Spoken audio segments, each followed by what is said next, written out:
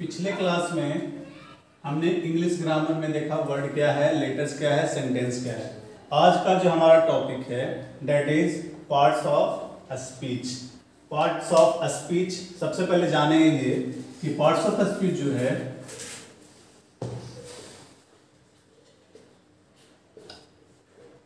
वो fundamental of English में आता है। फंडामेंटल ऑफ़ इंग्लिश क्या होता है? मतलब बेसिक सबसे पहले जो स्टार्ट करने वाला टॉपिक है that is parts of speech अब समझिए हम लोग कि स्पीच क्या है? स्पीच में हम लोग क्या देंगे? तो स्पीच में बेसिकली जो होगा वो सेंटेंस होता है। और जो सेंटेंस होंगे वॉइस्ड हो सकते हैं रिटर्न हो सकते हैं। और सिंस हम लोग ग्रामर पढ़ रहे हैं तो जाए ऑब्वियस सी बात है कि यहाँ पे सेट ऑफ़ रूल्स तो आएँगे ही आएँगे। मतलब कि हमको इस ग्रामर के रूल के करस्पॉन्डिंग हमें आगे बढ़ने हैं। पार्ट्स ऑफ़ स्पीच जो है, वो बहुत ही इंपॉर्टेंट फंडामेंटल बेसिक और बहुत ही बढ़िया चैप्टर है। पार्ट्स ऑफ़ स्पीच को पहले हम लोग डिफाइन करेंगे। देखिए। Words are arranged systematically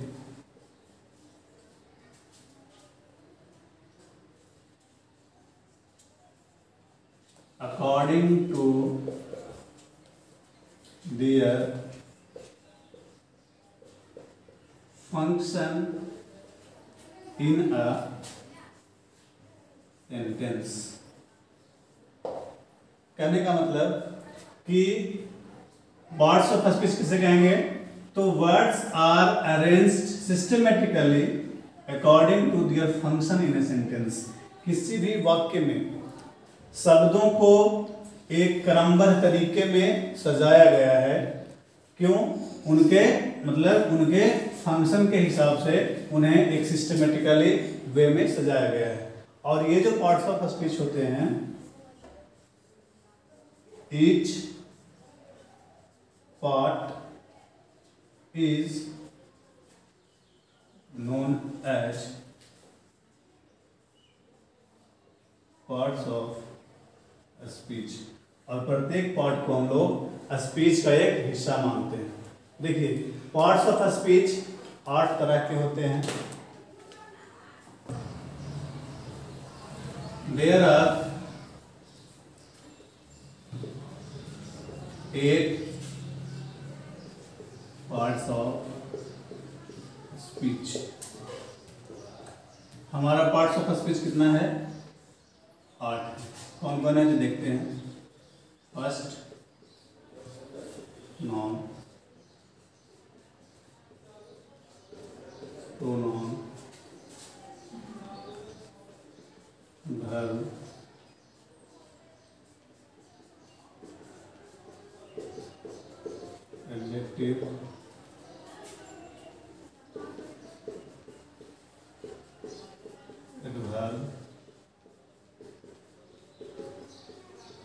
preposition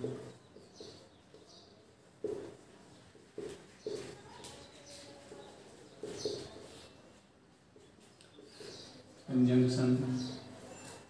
And last one. Interjection तो ये हमारे पार्ट्स ऑफ़ स्पीच के एट पार्ट्स हैं।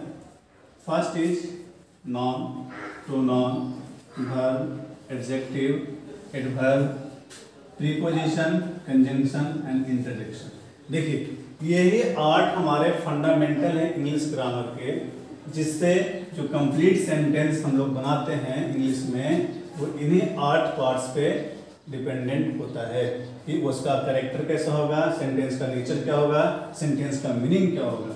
तो बारी बारी से हम लोग सबके बारे में सीखते हैं। देखिए पार्ट्स स्पीच जो हमारा आठ भागों में बांटा गया है, उसको देखते हैं बारी बारी से सबको।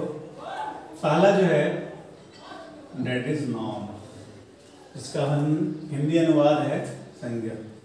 हम लोग बचपन से क्लास वन टू से पढ़ते आ रहे हैं नॉन के बारे में, और इसको पूरे उम्र भर पढ़ना है हम लोगों को। मतलब जब तक पढ़ाई के सीधे में हम लोग रहेंगे, तब तक इसके बारे में कुछ न कुछ सीखते रहना। नॉन क्या है? नॉन बोला जाता है नेमिंग वर्ड्स मतलब कि मॉर्निंग से इवनिंग तक। जो चीज़ें भी हम लोग देखते हैं, वो सारा क्या कहलाता है? नॉन जिसका नाम हम दे सकते हैं।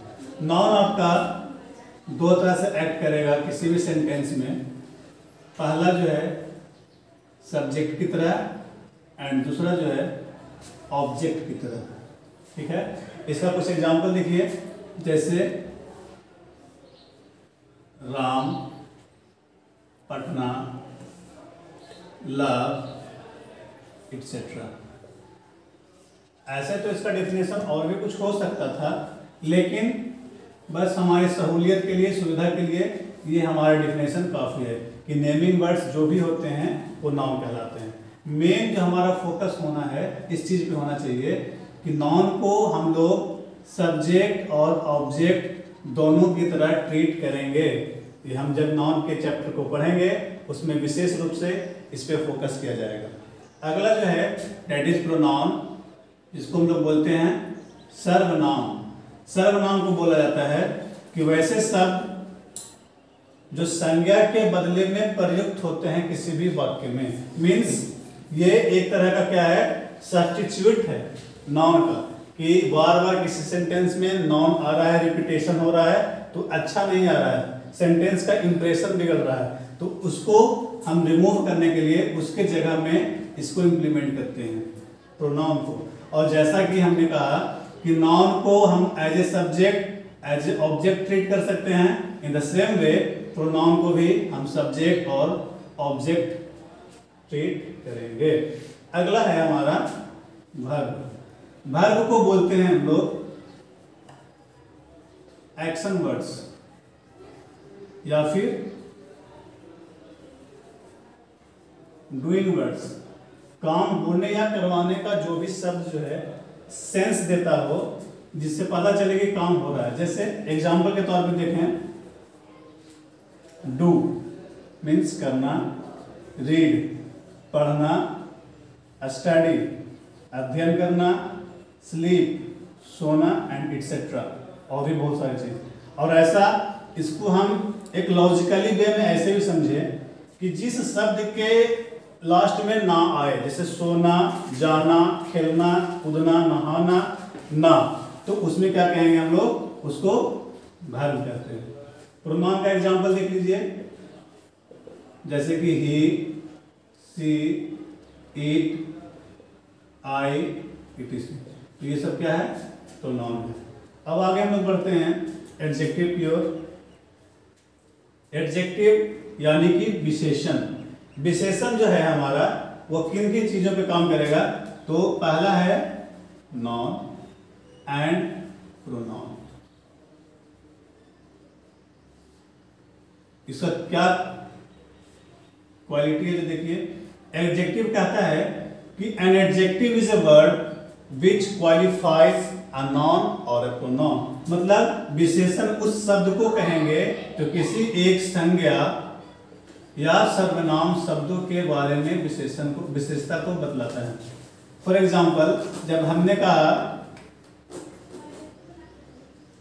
Ram is a boy means Ram एक लड़का है तो यहाँ पे देखिए, ए जो है, ये आर्टिकल है, लेकिन इस आर्टिकल को हम लोग लिटिल एडजेक्टिव भी कहते हैं।